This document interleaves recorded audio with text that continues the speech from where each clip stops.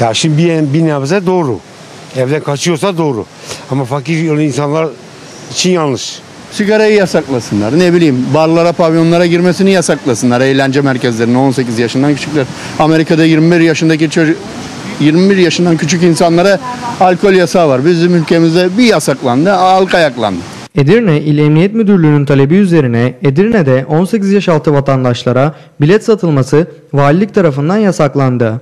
Edirne Valiliği açıklamasında bilet satışı yapılan yerlerde 18 yaşından küçüklerin bilet almasını yasaklayarak ailesi veya kurumun bilgisi dışında evden, yurttan kaçan, ileride yaşamlarını olumsuz etkileyebilecek olayları engellemek amacıyla bu uygulamaya geçildiği belirtildi.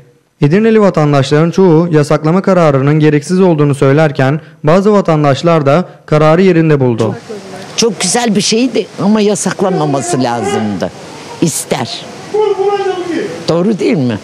Ya düşündükten sonra ne olacak kızım ki? Bizim çoluk çocuğumuz neyle gidecek? Neyle gelecek? Niye yasakladı bunu vali? O zaman yasakladı sıra iyi yaptılar demek ki yani. Hani kötü bir şey istemiyorlar yapmasını. Onun için Sayın Valimiz demek o zaman iyi yapmıştır. Haklı görüyorum yani. Vallahi yanlış bir karar bence. Bence iyi değil.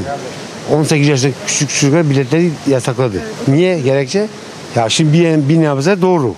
Evden kaçıyorsa doğru. Ama fakir olan insanlar için yanlış. Çok saçma bence. Çok saçma. Vallahi sigarayı yasaklasınlar ya. Yazık günah yani. Onun üstünde dursunlar.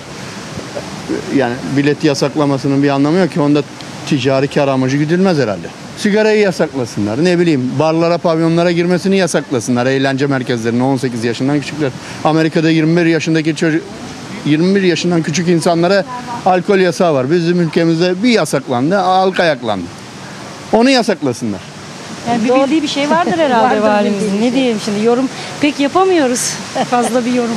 E, Başka şeyleri başka konularda şey yapmıyorum başbakanı onaylamıyorum da bu belki doğru olabilir.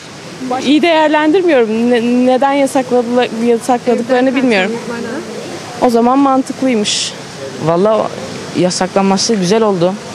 Şimdi ailelerinden sinir olduğunda hemen otobüsten bilet alıp başka yere gidebilirler. Valla dayımlar alıyor ben almıyorum biletleri. Ya bence de iyi oldu. Aileden izinsiz gitmiyorlar hiçbir yere.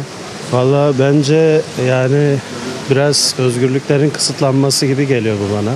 Yani biraz saçma yani aslında. Ya bir taraftan kötü bir taraftan iyi yani. Şimdi bazı gençlerimiz var mesela çok özgür yaşıyorlar. İstedikleri gibi davranabiliyorlar. Anne baba karşı çıkmıyor. Ama yanlış bence. Kötü bir durum. Sürekli aileler çocuklarıyla uğraşamaz. Çocuklar da okula gidiyor.